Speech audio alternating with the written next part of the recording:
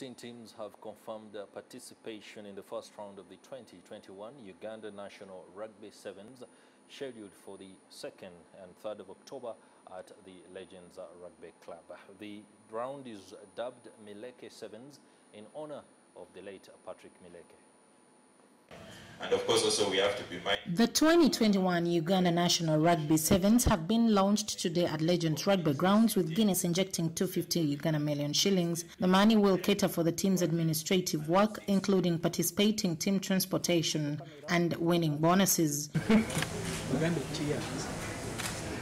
The Mileke Sevens will open the sixth round campaign on 2nd October 2021 at Legends Rugby Grounds and 16 teams have already confirmed participation. The Mileke Sevens is organized by Warriors Rugby Club in honor of the late Patrick Mileke, the father to the Abredo brothers. It's good to see that uh, Warriors has taken it a notch higher and decided to celebrate the people who have been there for the sport, who have made it uh, the sport that it is today.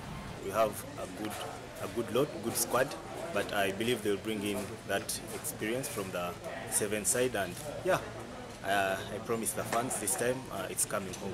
Gulu Sevens organized by Gulu Elephants will follow on 9th October before Soroti Sevens on 16th October.